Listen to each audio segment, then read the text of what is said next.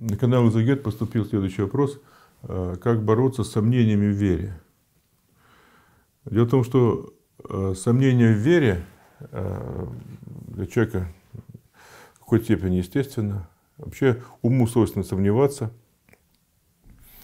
И порой человек слишком серьезно относится к вере, не хочет быть легковерным, ему надо получить духовный опыт – подтверждения, какие-то доказательства. Ну, к примеру, даже апостолы имели сомнения, и немалые сомнения. Вот э, как-то читали мы воскресное Евангелие о том, как Господь явился апостолам на горе в Галилее, где они собрались. Воскресший Господь, и иные поверили Ему, а иные усомнились. И Господь э, говорит им, не обращая внимания на сомневающихся, дана мне всякая власть на небе и на земле.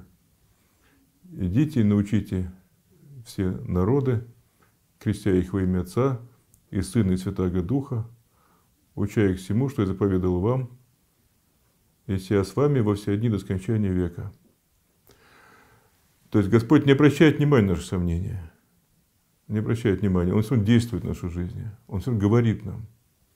Нам научиться слушать его. Но э, нам нужно э, проще относиться к нашим сомнениям. Они всегда будут. Что нужно сделать, чтобы э, сомнения постепенно рассеивались? Во-первых, э, нужно просить у Бога веры. Вера – это дар Божий. Невозможно прочитать все книжки духовные. Даже мало будет прочитать Священное Писание. Все же требуется особое действие Божие, дар Божий, который есть вера. Вера дается тем людям, которые ее ищут. Господь говорит, ищите и найдете, стучите, отворят вам. Поэтому э, и нужно у Бога просить веры, самое главное. Мы зачастую просим здоровья, мы можем просить э, какой-то помощи нашим родным, близким, детям, но не так часто мы просим самого главного – веры. А будет вера, все остальное приложится к этому. Потому что ну, Богу совсем не трудно э, помочь нам и в плане и здоровья, и помочь нам родным, близким нашим. Это не так важно все же важнее всего, чтобы мы были верующими, потому что вера спасает. А неверующий человек не может войти в Царство Небесное. Поэтому веру надо спрашивать. Это очень важный момент. А следующее. А, вера требует все же самоотречения. Потому что а, ну, мало просить, надо еще быть готовым на то, что Господь нам даст. Господь даст нам веру, но ведь надо жить по вере. А чтобы жить по вере, надо э, жить не по своим мыслям, чувствам, желаниям, привычкам, а надо, э, насколько это возможно, отрешиться от них.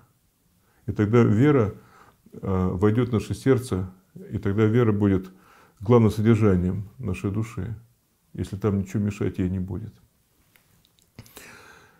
Еще что необходимо для развеяния всяких сомнений. Необходимо некое такое духовное напряжение, э, нужен труд. Э, когда мы просим у Бога и появляются сомнения, э, все-таки с определенным трудом на эти сомнения отодвигать в сторону, не обращать на них внимания. Если мы сомневаемся в том, что Господь нам может то или иное дать, значит, мы еще недостойны этого дара. Если мы просим что-то у Бога, говорим Богу, и э, усилием нашей веры говорим, Господи, мы немощные, мы слабые, мы малоопытные, но мы примем от Тебя все, что Ты нам дашь. Помоги нам, э, Господи, помоги нашему неверию.